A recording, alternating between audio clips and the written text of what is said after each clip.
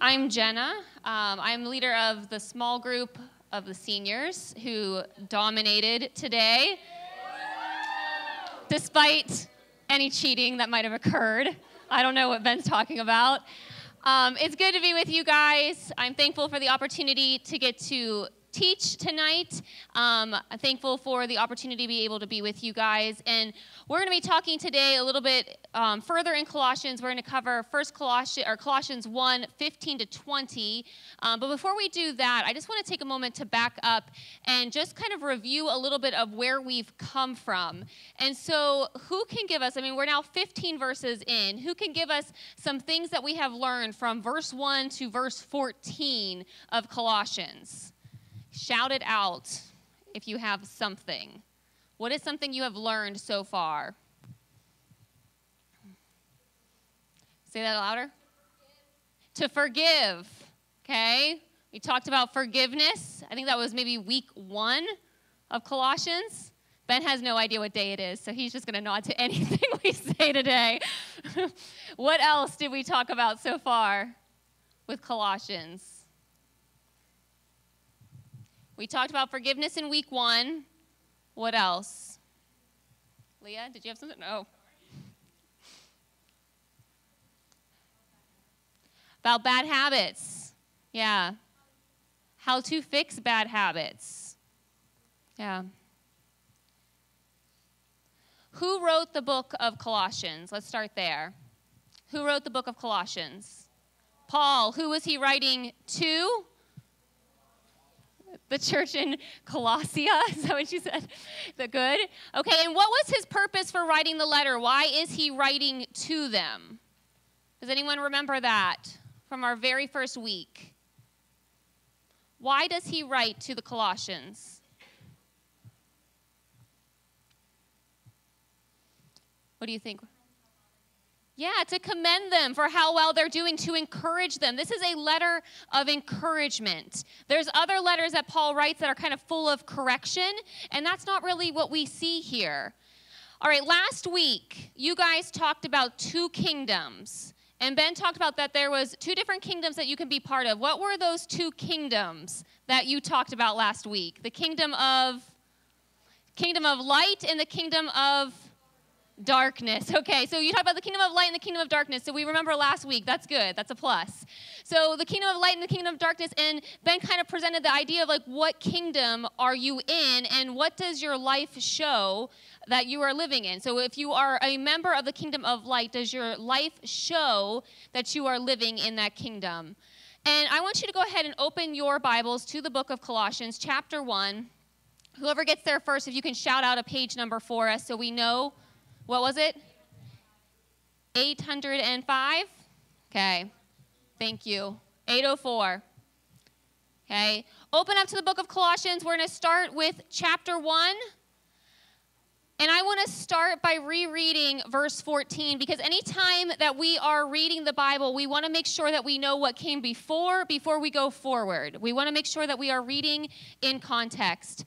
And so, verse 14, where we ended last week, said this For he, meaning God, has rescued us from the dominion of darkness and brought us into the kingdom of the Son he loves. Okay, so that's where we ended last week. So we have been brought from the kingdom of darkness into the kingdom that is ruled by the Son he loves. And now we're going to go into the next five verses this week. And this whole thing is going to be about the supremacy of this son. And so Paul is going to go on for the next five verses and talk about this son, Jesus, and why he is supreme over everything. Okay, so why he is supreme over everything. And the very first thing that we're going to see as we dive into this is that Jesus is going to have authority over creation. Okay, that Jesus is going to have authority over creation. So most of you guys know that I have four kids, four girls actually. They're pretty close in age, and when you have like kids that close in age and probably just like kids in general, it's just inevitable that they're going to fight, right? How many of you have fights with your siblings? Yeah. If you didn't raise your hand, you're probably lying. I think you probably do. But one of the most common fights that my girls have. Anyone have a guess over what my girls fight over the most? Clo- I heard it. Toys. Like things. Could be clothes if they were older. They're not there yet. Things. Okay, so one of my biggest pet peeves is when my kids get a new toy, and the very first question that they ask me is, Do I have to share this? Like, do I have to share this toy? And so my girls have this common thing where they lose patience with a sibling because they're playing with a toy that they think belongs to them. But the reality is, is most likely my kid did not buy or purchase that toy, right? It probably came from somebody else, maybe me or a grandma or something like that. But that's not the only thing my kids fight over. They fight over other things as well, like their space. They share a room, and one of the other common things they fight over is like if a sibling gets on one of their beds. I don't know why that is such a issue for them, but if a sibling gets on a bed, it's like a meltdown occurs. And they also probably about like once a month try to divide the room in half and say like, okay, like this side of the room is yours, and to get to the door, you have to go like this, and you can't step on this space, right? My kids really want exclusive rights to their stuff right? That's what's really at the root of all of their fights. They want to call their things mine, right? They want to own them. They want control and authority over their things. Now, I don't know if you've ever had a moment in your life where things feel out of control, or if you've ever felt like you wanted more authority over things that you thought were yours. Maybe you can relate to what my kids have experienced or to their frustrations of feeling like they don't have control over their space. We all experience circumstances in life where it feels like no matter what we do, we can't really grasp for control of the things that we want.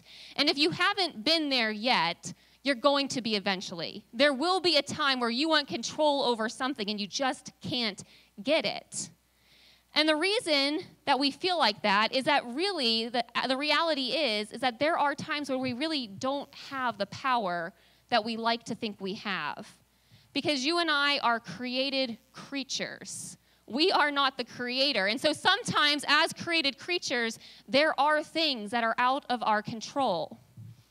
Our text today in Colossians 1, verses 15 to 20, um, we're going to read and we're going to see as we read through this text the word all and every over and over and over again. And I'm going to emphasize that as we read because Paul is going to be trying to make a very clear point as we read this. He wants to make the claim that Jesus is supreme over all, over everything.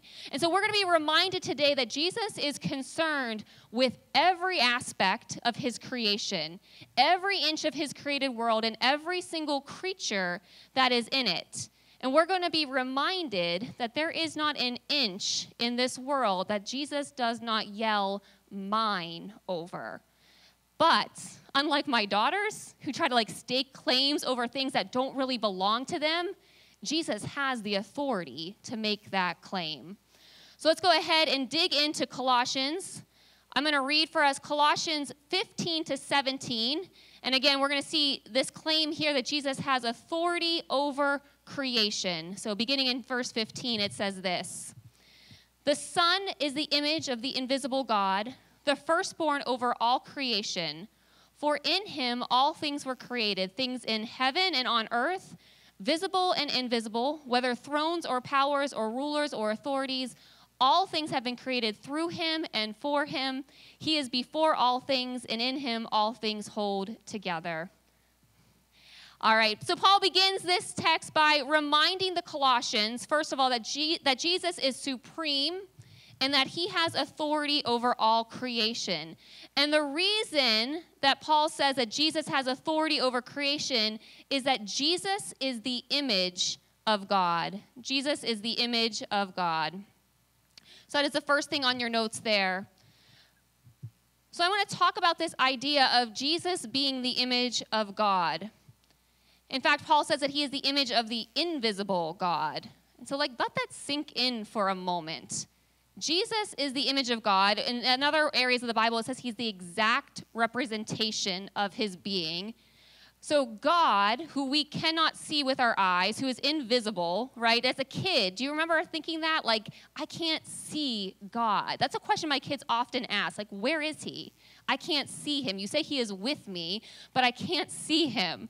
So, God, who is invisible, wanted to make himself known to us, and so he sent Jesus. So, if we want to know what God is like, if we want to know what He thinks, what He cares about, what is important to Him, we need to look to the life of Jesus. In the Gospel of John, Thomas asks Jesus a question. He asks Jesus to show him what the Father is like. And Jesus responds in John 14 9. He says, How can you say, Show us the Father? Don't you believe that I am in the Father and the Father is in me. Jesus makes God known. And if we stop and just ponder this, this is an incredibly gracious act in the first place because God is transcendent. He is holy. He is beyond what we can comprehend. And if you think of any other God that people worship, like people don't understand those gods and they don't try to understand them. They're too holy to understand. But the God that we worship, sent his son so that we could understand him. The reason why he wants us to know him is because he wants to be in relationship with us. That's an amazing thing. You cannot be in a relationship with somebody you don't know. Think about the people who are important in your life. Think about the people who know you. They know your secrets, they know what you think and how you feel. They probably know what you're thinking before you even speak because they know the insides of you that other people don't know. That is what it means to be in a relationship with somebody. And this is what God has done for us for, with Jesus.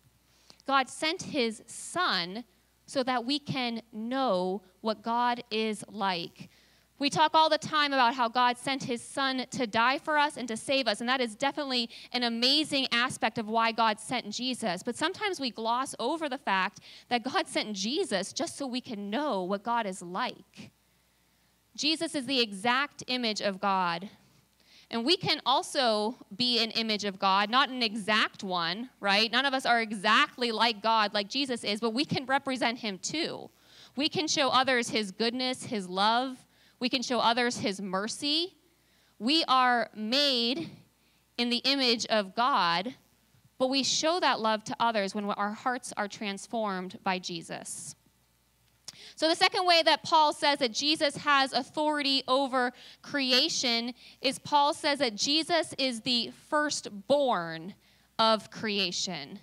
Paul says Jesus is the firstborn of creation. So I want to talk about this term firstborn because it's kind of a weird thing. It's like the idea of Jesus being created, it almost sounds like, like he was born. But let's talk about this because when Paul says firstborn, what he means here is first in status or ha- holding the highest place. Okay, he's not saying that Jesus was created, because we're going to see in just another section here that Paul talks about Jesus being the creator. So he's not saying Jesus was created. And that's really an important distinction because in the time that Paul was writing, there were lots of people who were making the claim that Jesus was not fully God. And so that is not what Paul is saying here. What Paul means by firstborn is that Jesus holds the highest status. So, in ancient Roman culture, the firstborn son would have had been the one to inherit the family fortune, right? He was the one who got the highest status. And so, when Paul makes a claim that Jesus is the firstborn over all creation, what he is actually saying is Jesus is the one who's going to inherit all of creation. He is the one who will inherit the world. Then Paul goes on to explain why Jesus is the one who's going to inherit the world. In verse 16, he says, For in him all things were created. So, how can Jesus be the one to inherit or be the firstborn of creation? Well, because he made it, right? He made it all. And that's the next thing that we see here that Jesus created all things. He created all things. Jesus made everything, and because Jesus made everything, then everything belongs to him, right? If you think about a painter who makes like a beautiful masterpiece, after a painter makes a masterpiece, the rights of that painting belong to him because he was a creator of it. And so that is exactly what Paul is saying here. He's saying Jesus owns the rights to creation, so to the world and to everything in it. And Paul then lists all the things that Jesus created. And essentially, we see that he created both the material things, the things that we see, and then also the spiritual world as well. And so he created the heavens and he created the earth. He created the visible and he created the invisible too.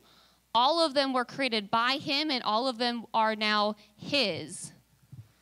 We see um, in the gospel stories, if you read the gospels, that Jesus has authority over all different types of things. Okay, we see that he stops the wind and water when he's on the Sea of Galilee. Do you remember that story? when the disciples, uh, when Jesus is sleeping and the disciples are in the middle of a storm and he wakes up and is able to calm the waters. He has authority over the wind and the water. We see that he has authority over demons, so over the spiritual world. He is able to cast out demons. We see that he has authority over disease, that he can heal people. And then finally, we also see that he has authority over death, that he has the ability to conquer death. And so, our rightful response to somebody who has authority over all of those things, our rightful response to somebody who has created the world and who has created us, is worship and obedience. We are his created creatures, and we are created to worship him.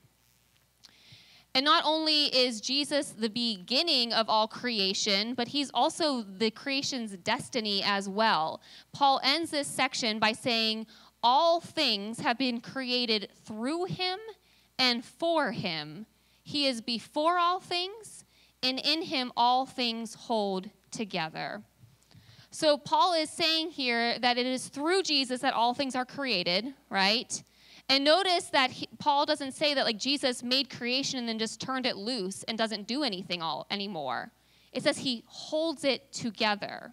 And so, what is Paul is saying here is that Jesus is the one who keeps the world in order. He is the one who keeps the stars in place. He's the one who keeps the world spinning. He is the one who keeps creation going. Without Jesus, it would be chaos. And if we go all the way back to the beginning of the Bible, we see that in Genesis, that is actually what is happening. If you look at the first pages of Genesis, we see that the world is empty, that it's formless, that it's essentially chaotic. But then as creation starts to happen, it becomes orderly. And we, so we see that if it were not for Jesus, that's what we would experience. It would be complete chaos. Now, I want to think for a minute about Jesus' birth. When Jesus took on flesh, our Creator, the Creator of the world, entered into the world that He created through one of His human beings that He created. Like it's kind of mind boggling when you stop to think about it. And so Jesus, the creator, allowed Mary, his mother, who he created, to feed him, to care for him, to take care of him. And he, he depended on her, right? He was fully human at the same time. But at the same time that he was fully human and needed her to feed him, he was also fully God and was like holding the stars in place in the sky. Like, that's an incredible thing to try to grapple with. Jesus holds all of creation together. So now Paul is going to transition us to a new idea. He says not only does Jesus have authority over creation, the world that we see around us, but Jesus also has authority over the new creation.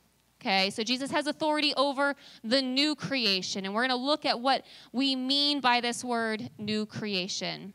Let's go ahead and take a look at verses 18 through 20. Colossians 18 says this And he is the head of the body, the church. And he is the beginning and the firstborn from among the dead, so that in everything he might have the supremacy. For God was pleased to have all his fullness dwell in him and through him to reconcile to himself all things, whether things on earth or things in heaven, by making peace through his blood shed on the cross. So, Paul begins this next section by showing us that not only is Jesus creator of the physical world we see, but he is also creator of a new creation. And what is the new creation that Paul is talking about? What do you think he means by a new creation? What is the new creation? What was it? You're close. What is the new creation that Jesus started? What do you think? Any thoughts? Paul sometimes sometimes we hear that we are the new creation. Have you ever heard that in the Bible? You are a new creation. The new creation that Paul is talking about here is the church. It's us, right? Then Jesus does a work in our hearts when he changes our hearts from hearts of stone to hearts of flesh we are said to be a new creation. And so we see that Jesus is the head of the new creation or the church. So Paul begins by saying that Jesus is the head of the body. And when Paul says head, what he means here is he is the source of it. Okay, so we see that Jesus is the source or Jesus is the head of the church. Okay, Jesus is the head of the church. And we're going to see Paul repeat some of the same ideas here. And the first thing that Paul repeats is he repeats this idea about Jesus being the firstborn, but now Paul says that Jesus is the firstborn of the dead, which sounds really kind of weird and gruesome. He says he's the firstborn of the dead. And basically, what Paul is saying here is that the agent of this new creation is death. Let me just say this way. So, like the grave, Okay, the grave was like the womb from which the new creation came, right? It is because of Jesus' resurrection and death that we have a new creation or the church. If it was not for the grave, if it was not for the tomb, we would not have the church. Now, you might be thinking, like, okay, Jesus is the firstborn of the new creation, but Jesus wasn't the first one who was resurrected, right? We have Bible stories where people were resurrected, like Lazarus. But the difference is, is that Lazarus died again, right? He was basically resuscitated until he died another death, however many other years that took. We don't know. But Jesus is the first one to have victory over death. And so, because of that, because we are part of Jesus' family, because we are part of his body, of his church, we are also able to have victory over death as well. Jesus is the firstborn of the dead. Paul goes on to explain why he is the firstborn of the dead. Paul says that it is so that in everything he might have supremacy. Okay, in everything he might have supremacy. So we're going to get this idea here that Jesus is the head over all of the church. Now, my preschooler um, goes to preschool here at Pathway Preschool. And Miss Maddie, shout out to you, Miss Riley. Do we have any other preschool teachers here? Just you two, right? She goes to church here, or to school here at church, and last week she informed me that there was a kid in her classroom who was throwing toys. Okay, and she was all fired up about it. Of course, it was a boy, right? Like boys are like, you know, just can't not throw toys. And she marched up to him, being like the kid that she is. She marched up to this little boy and informed him that she was going to tell his tell her mom about what he was doing and that he better watch out because her mom ran the whole church. Yeah. I have major power apparently. So she came to me and told me this, and I kind of like regretfully informed her, like, actually, like, I'm not in charge of the church. And so she asked, like, well, who is? Because she wanted to go find that person instead and let them know what this little boy was doing. And I responded to her and I said, well, Jesus is the head of the church. To which Lydia said, well, someone has to speak for Jesus. So now the thing is, it's kind of funny when my toddler thinks that Jesus is the head of the church. Like, we can laugh about that. Or when my, my toddler thinks that people are the head of the church, we laugh about that. But we do the same thing, don't we?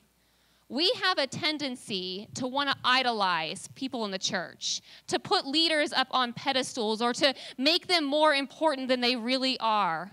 We have a tendency to worship people and worship the things that God has gifted them with. Whether we idolize somebody because they're a good speaker or because they're an amazing singer or because they have a gift that we wish that they had. Instead, what is ironic is that we are worshiping created people who have, have gifts that are given to them by God rather than worshiping the one that those gifts and those people are meant to point us to. Jesus is the head of the church. He is the firstborn of the whole new creation, a creation that can transcend death because he did it first. We who are, are part of the body of Christ can have victory over death, but only because he did it first. And part of the reason that we as a new creation can transcend death is because God's fullness dwelt in Jesus. God's fullness dwelt in Jesus. Paul tells us in this verse that God was pleased for his fullness to dwell in Jesus. So I want to think about this idea of God's fullness for just a minute because this is kind of a weird term. But we see several places in the Bible where God's fullness dwelt with the people of Israel. We see it in Mount Sinai when Moses goes up to the mountain to get the Ten Commandments. We're told that the fullness of God came down onto the mountain. And it was like it came down and there was like thunder and lightning, and the people of Israel stood back and they trembled with fear. Okay, that was the fullness of God that the people witnessed. We're told that God's fullness was in the tabernacle and in the temple. But then, like, people couldn't get in to the tabernacle or the temple. Only one person could go in, like, once a year, and there was all kinds of rules and regulations about what that person had to do to be able even to enter into the place where God's fullness dwelt. But we're told that the Son had the fullness of God in the form of a body. One body encapsulated all of God's glory.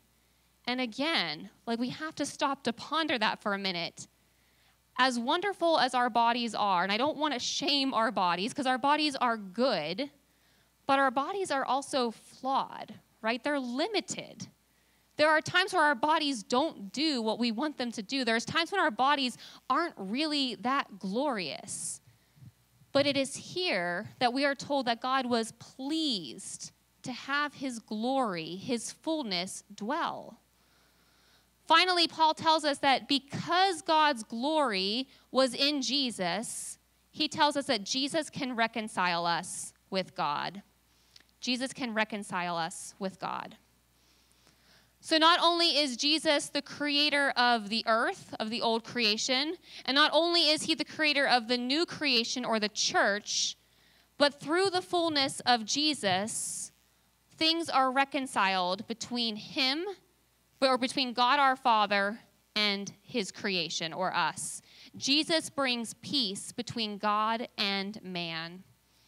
And how did this happen? How did this reconciliation occur? Well, Paul tells us that the reconciliation happens through his blood. And so, anytime we see that word blood, what Paul is kind of saying to us is it happens because of the death and resurrection of Jesus. Because of Jesus' death and because of his resurrection, we are reconciled with God. The story of the Bible is all about the reunification of heaven and earth. If you go all the way back to the very opening pages of Genesis, the very, very first problem that we have is that there is a split between God and his creation.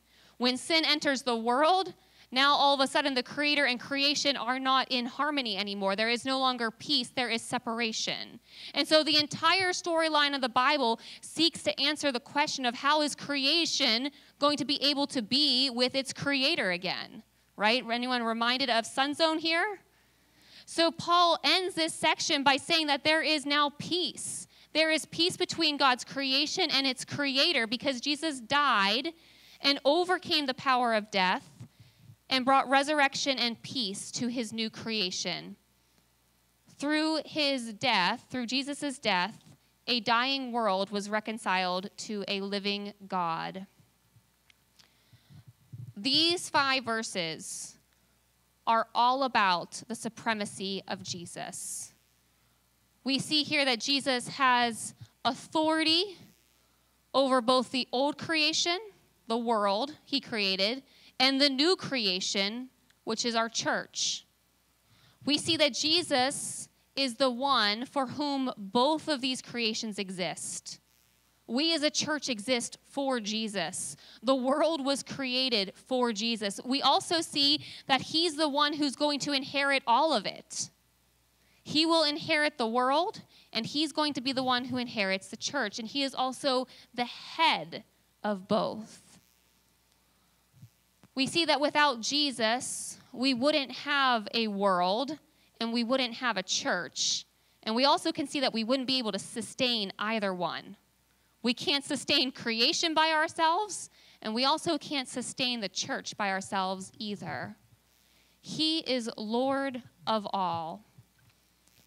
When we think about the supremacy of Jesus, we can see that he is creator, he is infinite, and he is perfectly in control of the things that he created. Jesus is supreme, but we are not. Jesus is perfectly in control of the universe. We are not. We are created creatures who were created to be dependent upon our Savior. But if you're like me, then you might be one who is constantly grasping for control of things that you don't really have control over. Jesus is sovereign. I am not.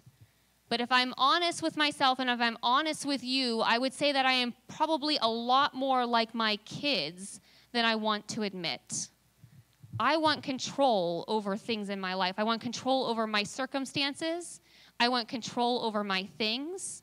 I might not appear as childish as my kids in yelling mine over toys and clothes, but it's essentially what I'm doing, right? I want to be king over my little world. I want things to go my way in the way that I think is best.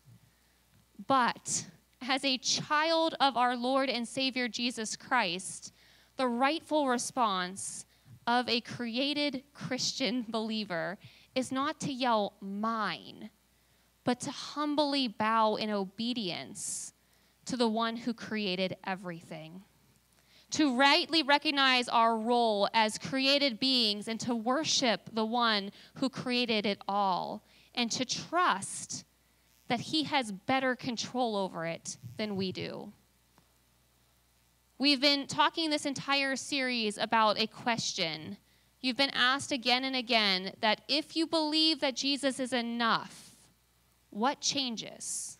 Right? The title of our series is Sufficient. If you believe that Jesus is enough, what changes? And so I'm going to ask you that question again, but change it just a little bit if you believe that Jesus is supreme over everything, if you really believe that, then what changes?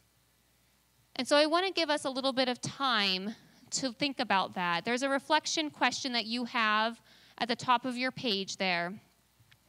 And the reflection question, I'm going to give you some time to ponder that. It asks you this it says, Think about the magnitude of Jesus' supremacy and ask yourself where do you grasp for control and authority in life that should be given over to God? I'm going to give you some time to think about that, and then I will pray for us and we will move quietly into small groups. So go ahead and pray over that question and jot down some ideas that you might have. I'm going to close us in prayer, and I'm going to be dismissing us to small groups. If you'd bow your heads with me. Father, we thank you so much for the gift of Jesus. We confess, Lord, that we often try to get control over things that are not ours to try to get control over. We admit that we like to think of ourselves as having some type of control over our lives or some type of authority over things, but when, the, when it comes to it, Lord, we do not. And so we confess our need for Jesus. We thank you, Lord, that He created us. We thank you that you love us enough that you sent your Son so that we might know who you are. We thank you that because of Jesus, we are reconciled with you and we can be at peace with our Heavenly Father. I pray for us, Lord, as we move into small group time. I pray, Lord, that it would be a wonderful time of fellowship, that there would be moments of laughter. I pray that there would be moments of honesty and vulnerability. And I also pray that we would learn from each other. We thank you so much for this time together, Lord, and it's in Jesus' name we pray. Amen.